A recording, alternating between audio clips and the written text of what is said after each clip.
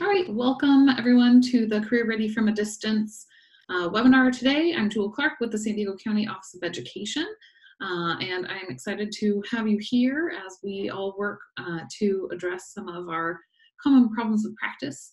Um, as I said a moment ago, we will be recording today, um, and so I'll address as if we're recording, but you're all welcome to pipe in with any questions, comments, ideas, um, resources, and all of the like.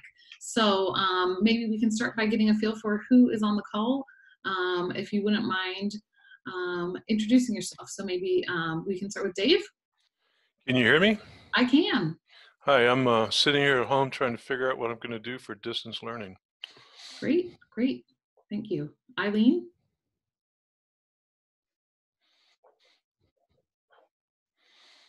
She might be away from hers. Uh, Jamie? Um, hi, yeah, I'm Jamie Davenport from the Grossmont Union High School District. I'm the curriculum specialist there. Perfect. And Jennifer? Hi, I'm Jennifer Kay. I work for Tech Charter High School. It's a high school for um, 16 to 24 year olds who are doing hybrid online learning anyways, but usually we are at site and I am the CTE counselor. Perfect. And um, before we start, are there any, I know Dave actually did email me a couple of questions and I think I already had a couple of slides in that might connect with that and I can follow up too, but is there anything big that you are really grappling with at this point as you start working on uh, this, this uh, challenge? Well, the biggest problem I have is all my classes are designed for people on site. It's a hands-on learning environment using specific industry software, and all our kids have Chromebooks. And uh, I was just reading a letter from our superintendent. We're not sure if we're going back on April 14th or not, but to do distance learning in my classes requires quite a quite a bit of work to mm-hmm. make it viable. And not, not, I'm just questioning the viability of that uh, specifically robotics, computer science, and graphic arts. Great, yeah, and I think that the the hardware that the students have access to sounds like um, perhaps one of the largest challenges when you're uh, trying to give students really rigorous CTE um, options. Yeah, and I don't want to introduce a, a product that's a one-off that we've never done it in class, and then we're just going to do it for distance learning. And my other concern, frankly, is I have a lot of kids with IEPs mm-hmm. and a lot of ELD kids, and I'm not so sure how successful. I hate to be so down on myself, but I, am not so sure how successful I'm going to be meeting the needs of an IEP student as well as the language uh, barrier with a because um, not all these products have a Spanish component. Absolutely, and um, although I don't have a ton of resources baked into this particular of slides. Um, I can also follow up. I know that the um, federal government released a short webinar on making things online more accessible. Um, and so I'll make sure that that gets on our resource page. Um, and then um, also, particularly because in CTE, with 15 different sectors, each one is going to have such unique challenges. I am just have a Zoom open every day from one to two. So Dave, it might be a good idea for you and I to have a one-on-one at that at that point sometime next week um, to look more specifically at um, those areas. Uh, but I was on a call earlier today where some people who do robotics work said that there's maybe some simulators, and so um, they're actually going to follow up on that with me um, later on. And your question had um, started that for me to to look into that. So um, please keep questions coming, and if I can find answers, I I will do my best. Okay, thank you. Mm-hmm. Anyone else have uh, anything that they want to throw out into the universe before we begin? All right, great. Um, Dave, I'm going to go ahead and mute you, but then uh, if you have any questions anytime, um, there's also, if you can unmute and break in, and there's also like a hand raising function in Zoom. So that's sometimes even as a small group, it's nice to practice so that if you switch and start using it with your students, um, but you can, under more, you can um, like raise your hand and it pings me. Um, Eileen, did you have something to share? Oh, I think I was just able to get unmuted. Can you hear me now? Yes, I can. Okay. Um, as a district, we're trying to figure out and kind of wrap our minds around how, if we do go to distance learning, after April 13th, how we can do that for CTE, because like you mentioned, all the diverse needs that we have and all the different programs. So we're just looking for ideas and how we could help get our teachers trained. Yes, absolutely. All right, well, and this is kind of just a broad overview because like you, I am jumping in, uh, trying to just pull together as many resources as I can. Um, and then based on what people need, I'll pull together more uh, webinars or resources or meetings and um, we can go from there. So um, you'll see here some of the resources and the links. So I think most of you found the CTE distance link um, and I continue to add resources as they come across my desk. Um, and then if you're looking for distance learning resources in general, the um, SDCOE COVID-19 site has a ton of great resources, um, particularly around just distance learning. What are some of the tools, the software, recommendations, things that are no cost um, uh, along those lines. Uh, and SDCOE will be hosting every day for the forthcoming future in the morning webinars that really um, touch specifically on all of these tools individually. Uh, and so you can find those. I have the link somewhere, so I'll post that into the to the group chat um, if you are looking for some of those. Um, so I will track that down uh, by the end of this. So I'm going to go ahead and keep going. So uh, the state has also released some supporting materials around distance learning, and I think this particular diagram is helpful in helping us to see the many options of distance learning, but also really think about um, the variety of things that we can do for students and the level of kind of um, academic rigor that comes along with each one. So of course the top um, would be teacher interaction and assistance through online learning platform. Um, but if we don't have the technology in place and the software in place, um, we can also start beginning to look at what it looks like to have students working virtually at home, um, to have students it, at this point it's um, we're not opening schools to have the distance uh, the social distancing um, here in california but you might see that in other places. Um, and then you know if we have students who do not have access to any of those paper packets are an option. Um, i did read on the cde website that um, although we do have these legal requirements to provide education um, they're not mandating that every student has exactly the same. So just because there's a few students who might not have access to technology doesn't mean that we can't provide it um, a technology based piece while we work to, to bring access to those students. Um, and so uh, at this point, just remember, don't let perfection be the enemy of good. Um, also take care of yourself and don't spend 10 hours a day trying to set up distance learning because we know that takes a lot of time. Uh, and so as you go through this, uh, keep that in mind as well. Um, if you um, are looking for my slides, they're again at this uh, bit.ly slash CTE distance and, um, and you can follow along there or access them uh, later on. So the first thing you want to think about too when you're looking at distance learning is what is the scope of learning that you're um, asking of your students. Uh, right now, a lot are um, a lot of students are are really in an enrichment phase, and part of that is the lack of accessibility. I know uh, Dave, you mentioned that at the beginning that not every student has access to the same level of technology, or there may be students with IEPs for whom a Chromebook doesn't meet their learning needs. Um, and so at this point, a lot of times what we're doing is we're giving optional ways for students um, to engage with learning that may or may not be graded at some point, depending on the district and what they've outlined. As we look at the potential of having no school between now and summer, um, I'm sorry, not no school, but no in-person school, um, I believe that will shift. Um, Eileen, like you were talking about, that we may um, be moving towards um, really needing to have instruction uh, that can be graded along the way. Um, at this point, what are your, it looks like we have, you know, three different organizations represented. What, what are you looking at as far as what you're asking of your students at this point for each one of you?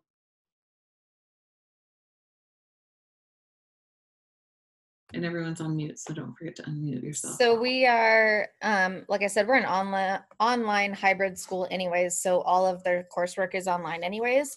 Mm-hmm. But we usually we do require them to be with us three to four days a week, hypothetically. Yeah. But um, they're used to doing online Google Classroom stuff. Um, obviously, when it comes to labs and things like that, that's not happening right now. Um, I know some teachers are kind of doing them online or again with some virtual links and things like that. But we're only a week in, so that's all we know right now. Okay, so you're, because you're primarily online, you're able to maintain the required instruction for your students, um, I would guess then. So yeah, hypothetically, um, for our IEP students, we have a special ed person who's checking in with them. Okay. Um, and we're doing some, you know, Google Hangout, you know, FaceTime, whatever that looks like, um, you know, to support students that way if we need to. Perfect, thank you. In the Grossmont district, we aren't doing any instruction right now.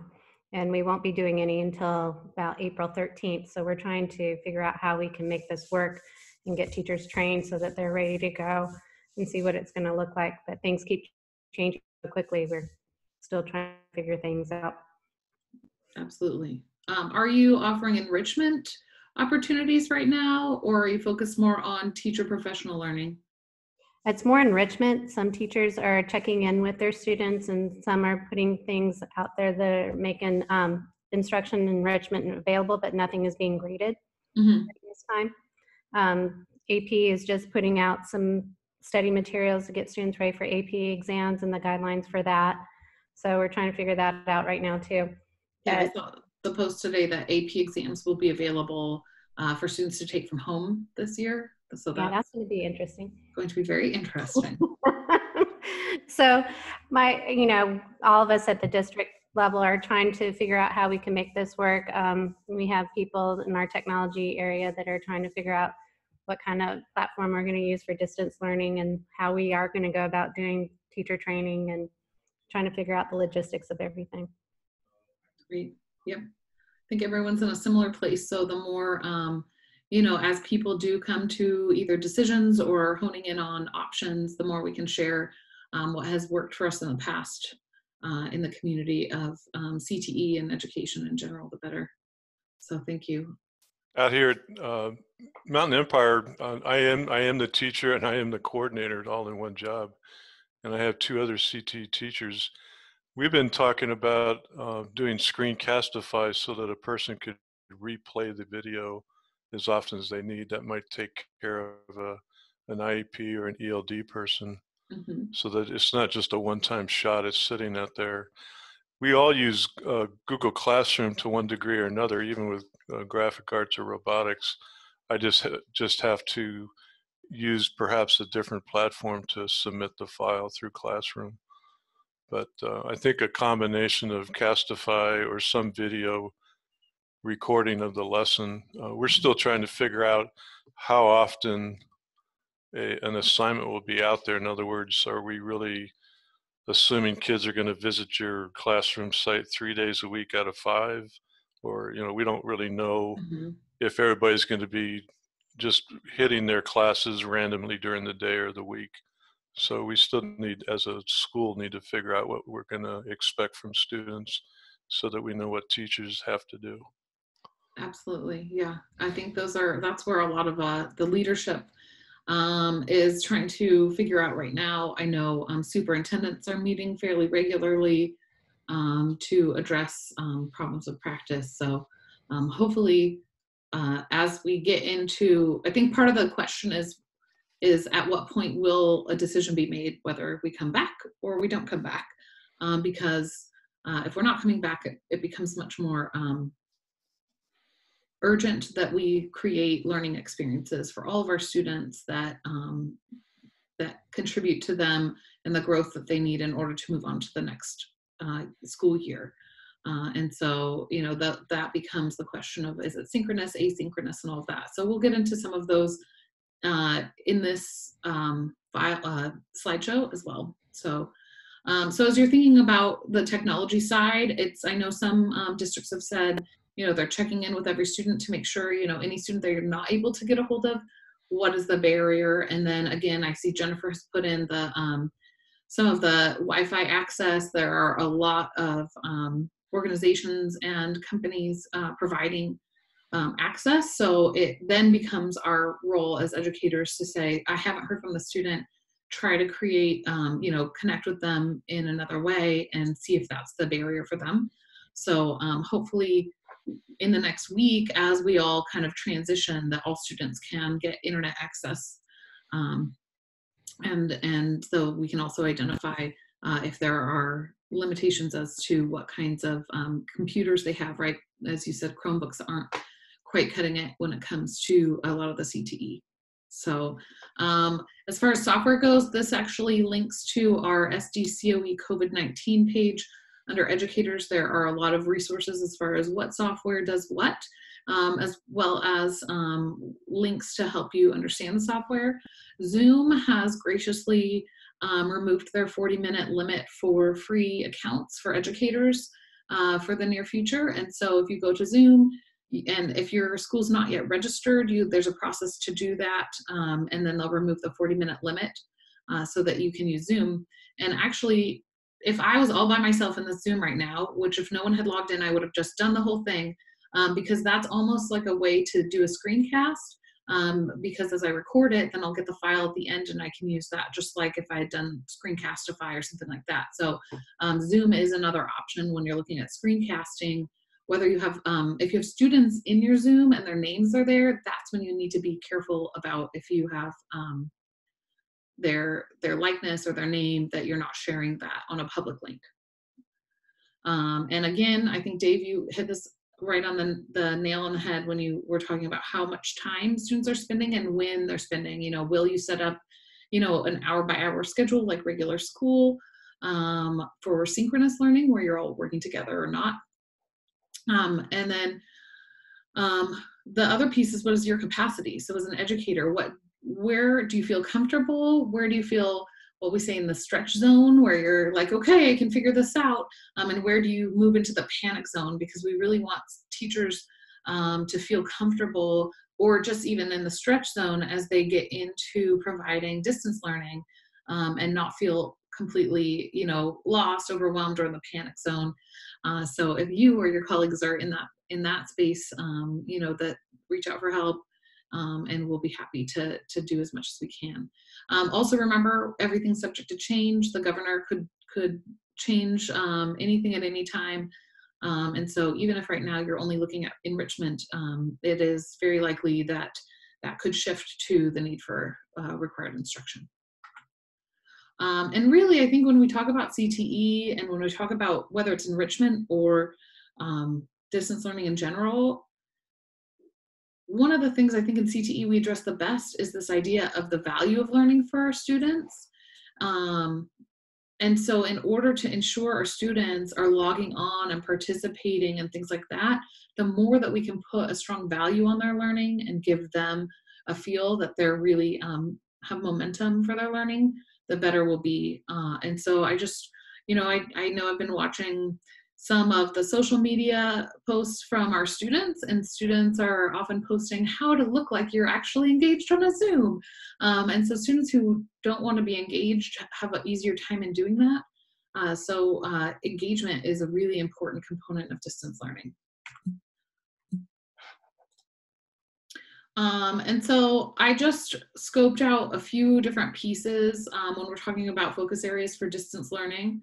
Um, I think the first one that's kind of low hanging fruit um, as we all get used to the to the online learning space is around career readiness. So how do you utilize um, opportunities to do career exploration, portfolio development, resume workshop, um, while you and your students are getting used to that platform, and and so that the there's um, learning happening, but maybe not like the level of rigor and the level of, of need for technology that you would have to get into for some of the technical side. Um, and then as you get into online coursework, it's things around like virtual class time, flipped learning. Um, I know some districts are looking into online certifications.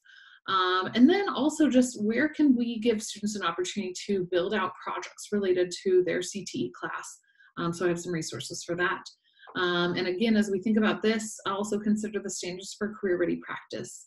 Um, as we are um, working through it, it may be another place to have kind of those earlier opportunities to get used to the platforms and used to the technology um, as to be honest, students being able to um, work virtually is definitely a transferable skill. Uh, and so, how do we um, leverage the new need to um, work virtually uh, in order to prepare our students for a workplace where that might be a reality? Um, all right, so here are some things around career readiness. Also, does anyone have anything they want to chime in on as I drone away here? Okay, great, thanks.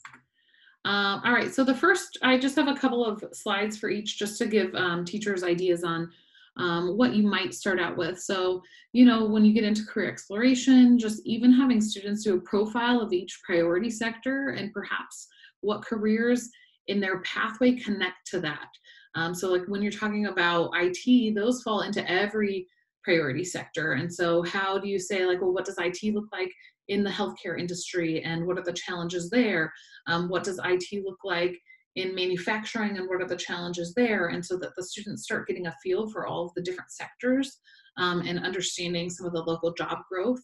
Um, and then I think another way to give students kind of assignments or things that are around career exploration um, would be a career spotlight. So choosing a career, um, particular career they're most interested in and creating the spotlight highlighting, you know, what kinds of educational requirements uh, get you there, really looking at what are the entry level positions that feed into those um, because we've seen so often our students don't have that understanding of kind of a trajectory in the career field um, that we you can have students do many presentations, videos, screencasts, build infographics um, around both of these topics. And so that might be one way to kind of initiate some of your distance learning where you're pulling in a bit more career exploration so that everyone gets more used to the platform that you're working from. Um, I've included a few resources here that are helpful um, and let's see if I can uh, connect via Zoom or if that throws us off a little bit. Um, I don't see my little green box around this. Oh, there's the green box, great. Um, so for instance, career trees um, are something that we've been seeing a lot more at conferences. And so it's really like, okay, here are the things that, that feed into that career. And then you see the entry level technical and professional careers. And there are career trees for so many different sectors. Um, and you'll find more than one right here is uh, digital media um, as an example. So you can have students explore different careers at different levels. So career trees are something that I've seen recently that could be a nice um, exploration for students. Um, and then they might be able to do a spotlight on one of the careers they pull out. Um, also, Center of Excellence posters are a great place uh, for students to get um, regional uh, data on our jobs.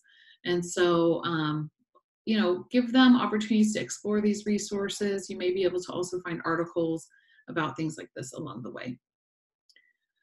Um, another piece is to have them start building out certain career pathway plans um, and give them a challenge to create multiple branches for their pathway plan. So what high school coursework do they still need? What are maybe two different post-secondary paths into that sector, including academics, certifications and degrees. So for instance, okay, your what would it look like if you went to two-year college? Uh, what, what would it look like if you went to a four-year college? Um, and, and to end up into that sector. Um, and have them really think about the variety of skills needed to manage uh, that pathway. So, what are the essential or soft skills, or the technical skills that are part of it? Um, another piece of the puzzle if you, whether or not you have portfolios already in place, this is a great chance for students to explore what a portfolio might look like and to build resources or pieces into their portfolio. So again, it's the idea of like, what is the value of the work that we ask our students to do? What's the value of their of their learning? Um, and so if you can help them see, you know, this is an opportunity, just like a professional might spend this actual time where they have at home, um, considering, you know, what what how they present themselves and working on their own projects to post, um, that our students can be doing the same thing. Um, and so as educators, if we can curate um, outstanding student and professional portfolios for students to look at, um, have students explore portfolios, focus on portfolio pieces, uh, and then there can be opportunities for feedback. Uh, and so this is another way where it doesn't have to be quite as directed in learning um, and it lets us as educators take a step back and let our students show um, their own uh, work uh, and and give them that feel that it, this is you're making something that's bigger than right now and it's bigger than your teacher but it can represent you as you head into the world of work. Um, one nice way to do that is to uh, go through the essential skills of the world of work. Um, and so we usually see those as the four c's um, as well as initiative and self-management workplace context and culture um, just so you will know, I am also working with San Diego Workforce Partnership on a relaunch of the essential skills that was actually supposed to come out yesterday, but I believe that's all delayed. Um, and so you'll see something very similar, but uh, I think that there's a couple of language changes. Um, and our hope is to launch more classroom resources in the fall around essential skills. Um, but one nice way to build a portfolio is to say, okay, well, what does critical thinking look like and how have you um, grown in that and have students take a project to represent their work uh, in some of these essential skills. Um, and then finally, um, building a resume is a great uh, project for students to work on from home. It's going to be really specific to them, so it's a little bit harder to cheat uh, because that will be a concern when we get into uh, fully digital learning. Um, SDCOE, our work-based learning team, has uh, developed some workshops for educators to better uh, teach things like resume writing. And actually, that is our first work-based learning uh, workshop, which comes this Monday at 2. So you can register now either through this link or um, on our distance learning resources page. Um, so that's the kind of overview of some ideas around career exploration. Does anyone have any of their own ideas or questions uh, in that section of the slides? Pardon me, Jill, did you say this slideshow we're looking at is available to us? Was that the Yes. bit.ly? So if you go back to the distance learning resources under CTE distance, I actually added the slides um, a little bit before the presentation. So if you want, let me copy this. Um,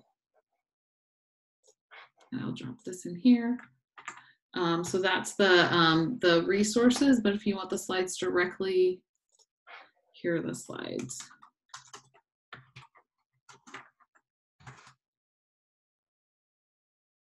so that you can click alongside.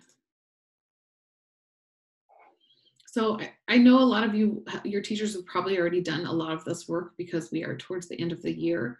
Um, but again, it might be a way to um, get students and teachers more comfortable with the learning platform to launch um, some of this. So any other comments or questions on that piece before we get into the other pieces?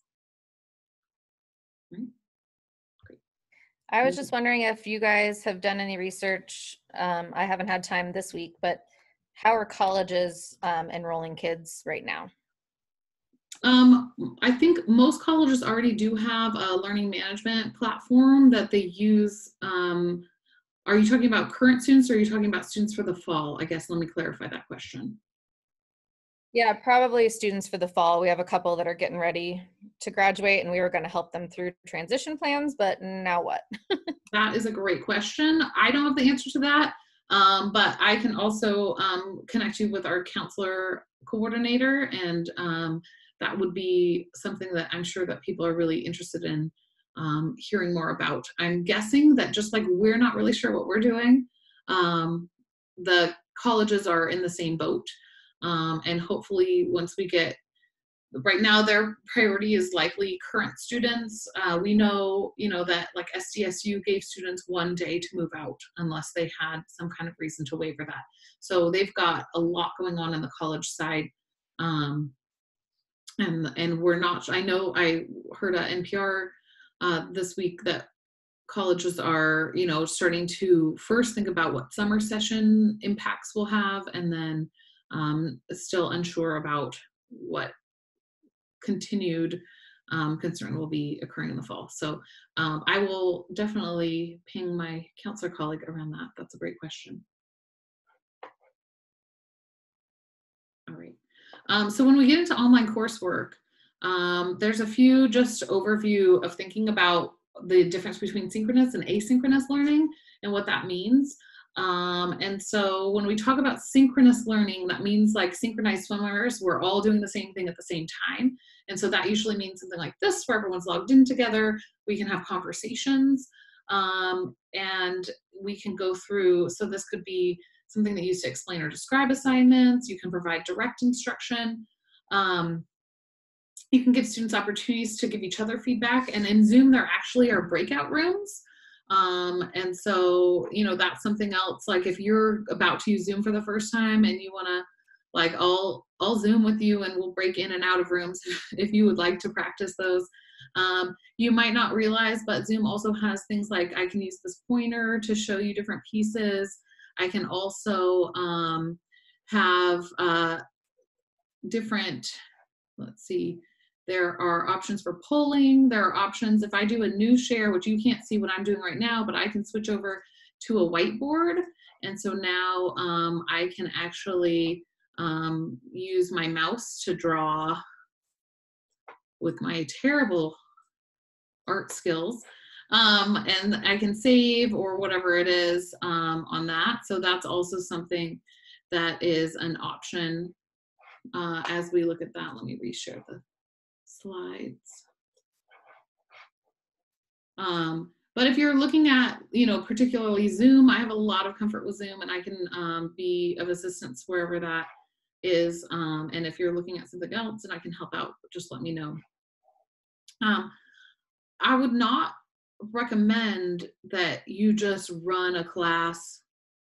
I would recommend a combination of synchronous and what we call asynchronous learning or kind of flipped lessons um, to give students some flexibility uh, along the way. So here you talk about, okay, what is the percentage of time I want to spend like one-on-one -on -one with all of our faces? And then we can move into what we call asynchronous learning, which I think of kind of that flipped model where sometimes we're not all together. And when we look at asynchronous learning, it may feel more like a playlist of learning that students can complete at their own pace. Um, and so, you know, like you had mentioned Screencastify, and they're actually offering a free upgrade for um, the month of April for educators um, with this coupon code cast underscore COVID. Um, and so you can get a freer or a upgrade of your free version of Screencastify.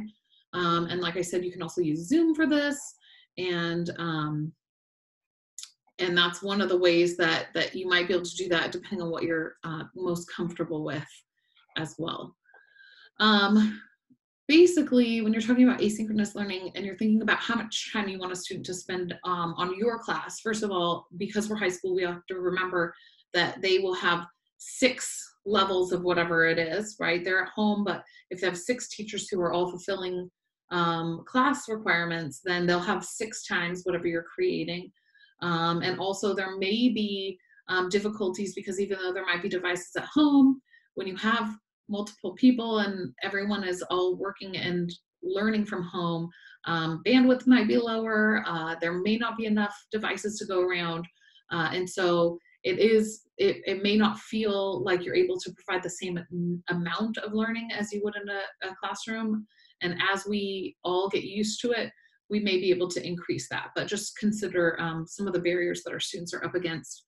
Um, and that's just if they're healthy, um, because of course, if they um, do have illnesses in their family, uh, whether it's COVID-19 related or not, um, that, that that may also alter their ability to work.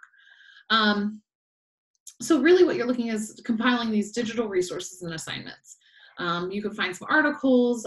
if if you we're going to learn something in the regular world, right? No matter what, which actually applies really well to CTE, you're going to go to YouTube, right? We go to YouTube, our students go to YouTube.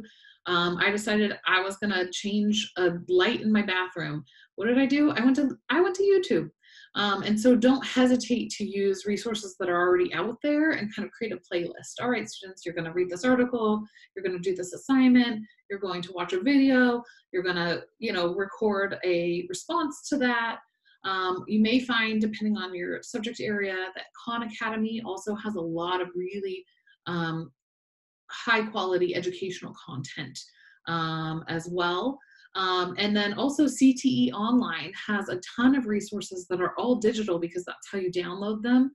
Um, I'm working on uh, this coming Tuesday, actually doing a webinar that kind of focuses on CTE Online and how to pull together a lesson plan.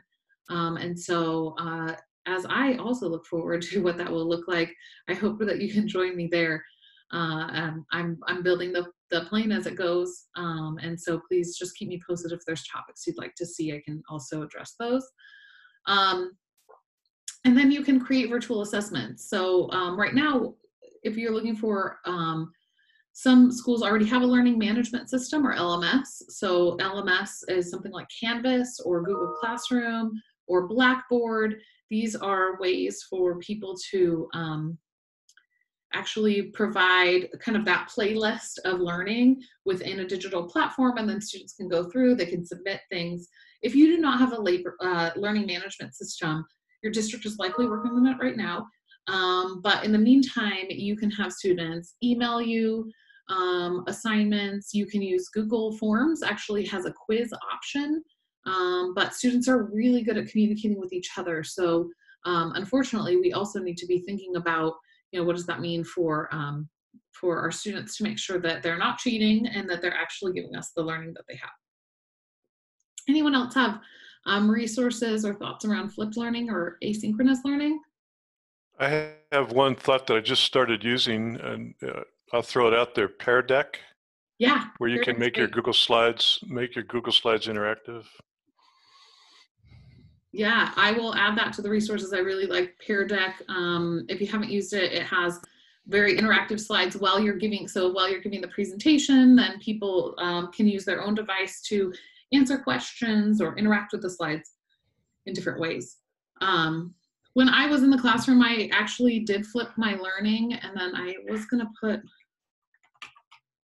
So I'll just. This has been like five or six years, so it's a little bit old. But this was my old um, website, and I, we didn't have a learning management system. Um, and really it was just my honor students who would um, watch things at home. But, um, and if anyone's su- supporting chemistry teachers, I have a ton of resources in here that I developed back uh, when I taught chemistry. Um, but if you look at certain units where um, I would have almost like a playlist, and this is a little bit old, but you know, things around vocabulary, rubrics, um, table of contents, here's a booklet that they had to do, here's a lecture on isotopes and average atomic mass, um, and then they had to do this periodic table activity.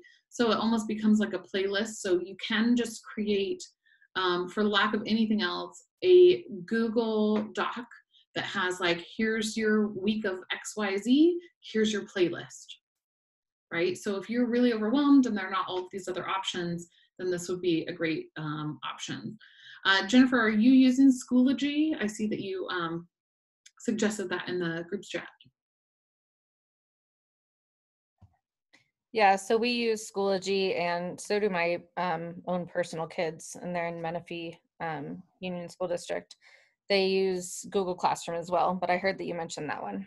Yeah, yeah. And I will say, luckily, we have a whole team who is putting together resources around this. So um, on the distance learning page, if you haven't been to the COVID-19 site for SDCOE, you'll also find, um, like I'm focused so much on trying to find CTE specific pieces because if you go to distance learning here, you'll find, um, well, let's go with uh, educator resources. Right here too, it'll say like distance learning best practice using technology, free online tools. So you pull this down it'll give you um, lists. I think one thing that educators are saying right now is uh, it's very overwhelming because there's so much. Uh, and so as we're trying to curate, you know, what's the right thing for our students? Oh, again, here's like a whole bunch of resources for stu- students with disabilities. So Dave, that might be helpful. Um, so as we as we look here, um, there's a lot of resources on our website. The CDE has also um, come out with additional resources. Um, happily, they linked to us as a great spot for um, discipline-specific resources. So hopefully that means um, we're doing something right. Um, but as you come to the COVID-19 SDCOE site, um, you can get a lot more on the technical side um, as well. Perfect. Um, these are some resources that um, I find to be really useful in general in CTE and many of the assignments because they're um, like a Word doc or a PDF, then you may be able to easily push them out to your students as well. Um, I went through, and the community college actually has some great um, websites that were originally created by their deputy sector navigators and seem to still be kept up for the most part by their um, by their regional directors, which is um, the new terminology. Anyway, so if you go to like this, right, we have one place like how do you do auto shop from home? like that's really difficult to do. Um, but this actually does have resources where you might find um, a lot of videos, um, things about careers. They um, they do have a conference, so maybe they'll turn that, and it's in Temecula. So maybe they'll turn that virtual if it's not in person. Uh, but if you go under faculty, you'll actually find on this one a whole bunch of K-12 resources and curriculum. So for each um, sector, I, I did just connect with one of the sector people at the state because I had a question about the link that they had shared. Um, but they're also looking at releasing more um, resources and I will keep them up to date as I get a hold of them. Um, but these are great resources and a lot of it is online anyone have any favorite um, CTE resources that are are not here that you would like or you think that I should add?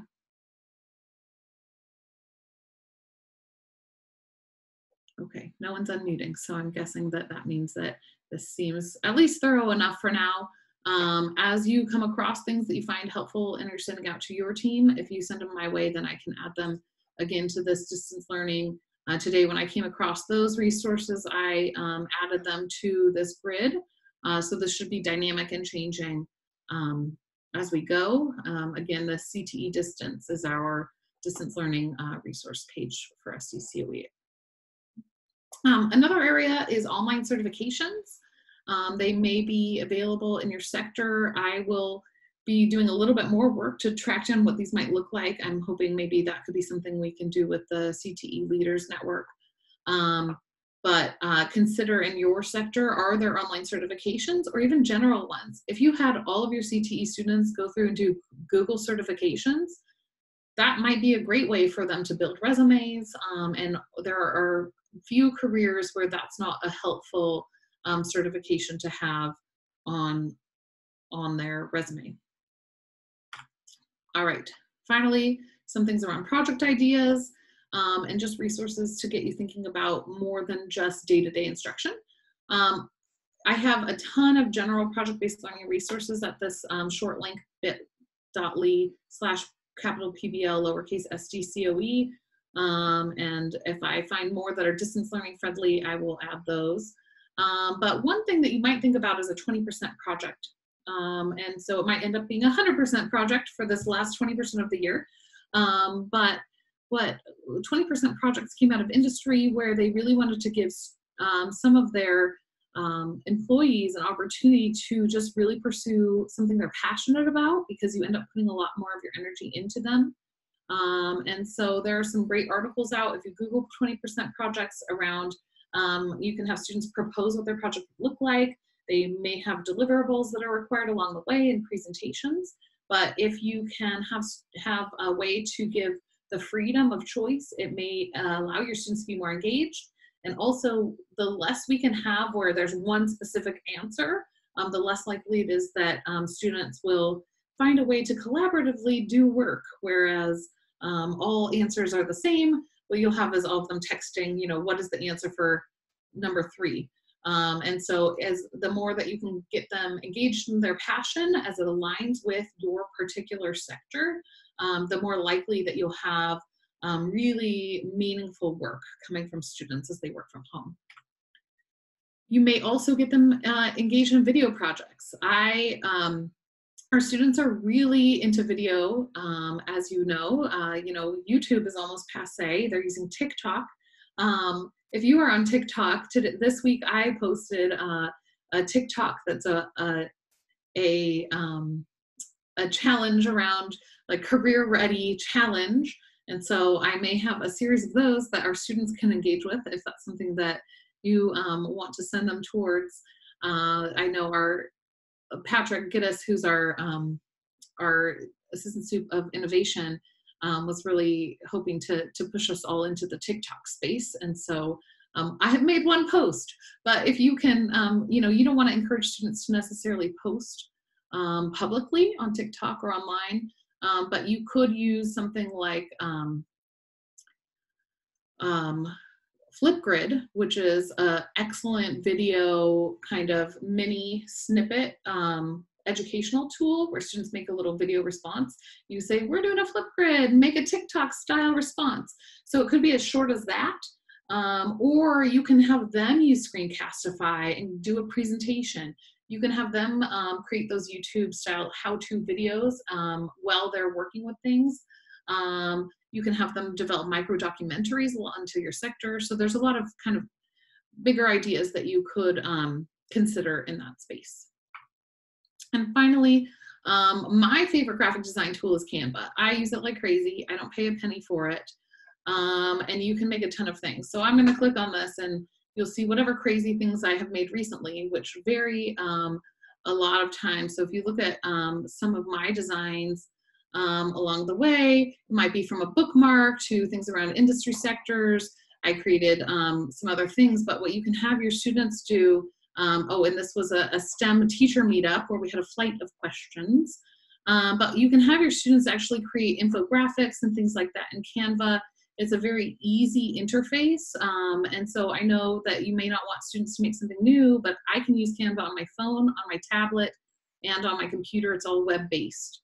Um, and so it's very easy to, you know, move things around, um, to add something, an element to um, whatever it is. And so across sectors, you can have um, people, um, students do this kind of work. Um, and I'm going to undo all the things that I did to this document before I leave. So Canva is a really easy program. and so even if you're having students learn a new program, it might be worthwhile. You can have them develop a marketing campaign for a small business. Um, it's a great place to build a diagram with, with technical specifications and you can upload images into Canva so you don't have to only depend on the images that they have um, in, in Canva itself. Um, have students build infographics in any sector. It's a great way for them to share information, to work with data, and to really think about how we communicate um, things within our sector to the public. Um, and you can even think back to when I talked about the career spotlight and the career pathway plan. Um, some of the those they could create in Canva or a similar um, online free interface uh, for for that. Um, so that was just kind of a brain dump of a place to start um, for teachers who might feel a little bit overwhelmed. Um, so let me just open it up to questions, concerns, requests, um, where is everybody at uh, at this point? Um, Jewyl? Yes. I just want to make sure I was unmuted before I started talking. Um, I love the ideas. Um, and, you know, as you were talking, I was thinking about all the different ways that we could apply this. Um, I think what I'm struggling with as, you know, representing the district is how we get the teachers trained and trained quickly because we're not going to have a lot of time to get this stuff going. Yeah, and um, do you know what your LMS is, or if you're going to be using like Zoom or another um, interface? We're exploring that right now. Um, that's one of the things I was working on today is like the using the Google tools and the Hangouts and that kind of stuff, and also looking at Zoom. So we're still in the initial stages of that and what that will look like. Um, Tiffany Brown is our technology person, so she's looking at different things and trying stuff out. Um, but as we keep getting new information and different timelines and stuff, it's like she works on one thing and then it gets changed and then she's working on different thing. So I think we're still in crisis mode and trying to figure stuff out. Yeah, and next week we'll be having um, those distance learning, and I'm gonna go to, um, did they post it? Oh, I put it in here, the Innovative Digital Learning Webinar Series. So let me drop this in here. So our technology, we have a lot of people who are focused on understanding of technology at the county office. Um, and so one of the things that they're doing is um, having daily webinars via Zoom. And so this might be a way, here's Canvas for distance learning for administrators. Um, using Zoom, uh, communicate to collaborate. And so um, there are some blank spots in next week, but the following week is really filling up quickly. So um, you'll see that throughout next week, we have um, workshops that are available through through Zoom, um, but to better understand um, some of those. Our ed tech team, let's do ed techo Tuesday. So our educational technology team has a fun um, weekly webinar series normally called EdTecho Tuesdays. Uh, and so they've expanded the offerings um, and they have office hours, three hours a day from 9 to 12 where you can join them and ask them questions about anything ed tech related. And they are huge on google. So here's um, this is this morning that they put this on. So the slide deck's here and they'll probably post the video as soon as they can get the transcript finished. Um, you can see their communication to students one from earlier this week and educational continuity um, so these are great resources and I'll also say, Eileen, um, if you as a district choose something and you would like either them or myself um, to do a district specific webinar or have, um, you know, some kind of district specific training, I think that's something that we'd all be very open to. So Okay. once you do hone in, let us know. Okay, thank you. I appreciate the help. Yes. Jewyl, are you invi- are you suggesting that we can invite all our colleagues to join in on, the, these webinars? A hundred percent, please. What I just didn't know what your capacity was. I mean, Grossmont, for example, has a whole lot more teachers than Mountain Empire. Well, and these webinars, like, let's say we got 50 people, then I might not have as much Q and A time, or Right. you know, we have more Zoom uh, questions where I'd answer them, and less us talking to each other. Once you get over 20, it becomes pretty difficult to to to do in a. Um, it just kind of becomes a better direct instruction than a than a conversation. But I'll tell you, four days this week, I've been open to office hours from one to two, and nobody's logged in, so I get a lot of work done. Um, but feel free to send people my way. You know, Okay. like Thank Eileen, you. if you've got a teacher who's like, "What do I do?" and you can just say like, "Oh, well, go talk to Jewyl." You know, and and I don't know that I'll have all the answers, but um, I want people to know that they're not alone, and also if I can alleviate some of the pressure um, while you're all trying to create, um, you know, make decisions and create um, parameters, um, then let me know um, what I can do to help. Have you heard if other districts are having um, negotiations with their teachers unions during this time? Um, from what I do know, this morning the superintendents got together to discuss that particular um, topic. Uh, after the comment at our CTE Leaders Network meeting on Wednesday, um, I went to the CTA website for the state and the lack of any language around um, instruction uh, during this crisis was a clear message that they're not weighing in on it quite yet as a state. Um, and so I think right now, um, you know, that's going to have to be something that is either bargained or, uh, you know, I, I, we acknowledge that there those could be limitations, um, and we're not quite sure yet how that will all play out. But anything I hear, I can let you know.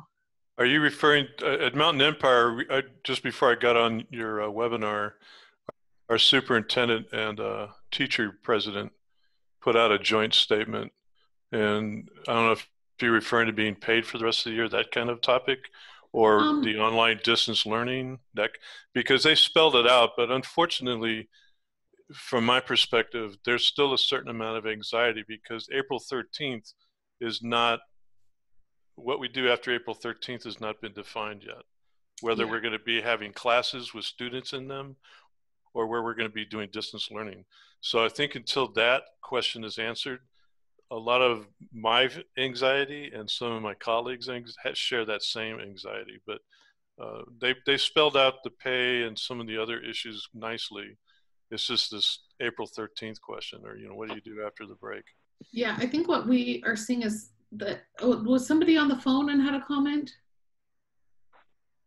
I I have one after you guys are done. Okay. Um, so as far as this goes, I think um, we are seeing a variety of responses to what um, teachers are being asked to do during the response. So it may not be in their contract to provide distance learning. Um, in one district, uh, it has been asked if teachers will get additional money um, in order to provide distance learning uh, instead of regular uh, in-class learning. And so um, luckily the state is um, waiving ADA requirements. And so we're not limited on attendance. This is a state of emergency and that frees up funds to continue to pay educators. That's, that shouldn't be where the concern is. Um, but there are, there are some um, who may consider this to be the kind of state of emergency like when we've had the fires and we didn't work at all. Um, whereas uh, in other areas, it's understood that we do still need to provide learning. And so there will be a, um, you know, there, I, I'm really glad to hear you, Dave, um, talk about that it was released um, with the union um, because the, they should be side by side looking at what the best way to provide education for our students is. Um, and that will be a district by district situation unless a statewide mandate of some sort over supersedes that and i don't actually know how that works Well, my question is because, you know, I shared the resources that you gave us um, the other day. I um, sent an email to all of the teachers, but it was just like if you are looking for information, that kind of thing. But we aren't mandating that any teachers do anything right now. okay And so it's not until we're technically going back April 13th before we get some more direction about what that's going to look like. Great. I know in oceanside teachers have a schedule that they keep and they have two hours a day to do their own learning. There's two hours a day where they're creating instructional materials and then there's certain hours where they're having learning together. So in some districts they are expected to to work right now and in some districts it kind of turned into like the fires like everybody go home stay safe and we'll see you when we come back. Um, and now that we are not sure we're coming back that that will shift. Um, so it's definitely there's not one answer. Um, and so um, what my personal not official advice would be is that for any teacher who is looking forward at this this is the time to explore the resources create um, example lessons or practice creating zooms get comfortable with the tools because even if you do go back to school those are helpful things to have in your back pocket or to start exploring with your students um, in blended learning. Um, and should we be in a situation where we're not going back to school, um, then you'll be ahead of the curve in um, being prepared to provide um, instruction to our students. And then who is who's on the phone? Hi, my name's Brian. I'm in Santa Barbara County. Oh, hi Brian. Welcome. Hi. I tried logging in the first 20 minutes to do it online, but I it just never let me in. So I found the number to call, so I just joined that way. Oh, how weird. Okay, I um hopefully hopefully you are there. There aren't more people out there, um, but this is being recorded, and so um, I will work on making it ADA accessible, and then I will post it on our website. So anyway, sorry. Go ahead, Brian. okay. Did you have questions? Well, I just I joined in and when you were talking about the career spotlight exploration, and um, I just I took a bunch of notes on different things that you were saying. I teach in the Entrepreneurship Academy at San Marcos High School, and just lots of great ideas that you're sharing that I, that I took notes on. So I'm excited for that. Um, I wanted to join next week. It looks like you have Monday through Thursday, and um, wanted to see if, if there's a way I can figure out how I can actually see what you're showing and different things you're referencing because I on on the phone is great, but I can't really um, see the different things you're talking about. Absolutely. Yeah. Um, so if you also want to practice, we can, um, you can always email or maybe join my office hours and we can practice to get you in. Um, Okay. and that way, because I do that from one to one to two, and then our webinars start at two o'clock. Um, Okay. So, so that might work on Monday if you want to log into office hours. Sure. And those are linked also um, at the the Bitly slash CTE distance, which I, I'm guessing might be how you found me in the first place. I don't know. I mean, it was a CTE document, uh, CTE teachers that um, The distance learning Tiffany. Carson, yeah, Tiffany Carson through Santa Barbara Unified found. And there's a link says Friday, March 20th, career ready from a distance from CTE for CTE teachers from San Diego Office of Education. That's all the information I had. Okay. And when I click on it, it just sdcoe.zoom, and then it would, would kind of loop me. I couldn't Oh, okay. really get in. So they might have registered and then just shared their registration link. Um, Maybe, if, yeah. if you um, want to just shoot me an email, um, Okay. then and I don't know if you if you're just on the phone, uh, my my um, spelling is J E W Y L dot C L A R K E at SDC. Okay. Oh, yeah, I have it right here. Oh, sdcoe.net. Yeah, so shoot me an email and then we can connect and I can make sure you get the resources that you'd like. Okay, great. I'll send you an email right now, and I look forward to talking more next week. Perfect. Thank you. Anyone else have All right, questions? thank you. We're at the like one hour point, so feels like a good place to stop unless there's more to talk about. I think I'm good for right now. Is everybody else still there? There's a couple people still here. Yeah, luckily I can Okay. see who's here. Oh, okay. yeah, I'll send you an email, and then I'll join on um, on Monday. Perfect. All right, okay. everybody. Thanks, Jewyl, so much. Absolutely. Thank you, everyone, for joining Thank in. you. And I think the rest of you have my contact information. Uh, let me know if there's anything we can do. Um, feel free to send as many teachers to my webinars as you have. And uh, have a great and safe weekend. Uh, take a little bit of a rest. Uh, you all deserve it. So, Thank you, Jewyl. Yeah, you too. thank you. Thank you. Okay, bye Bye.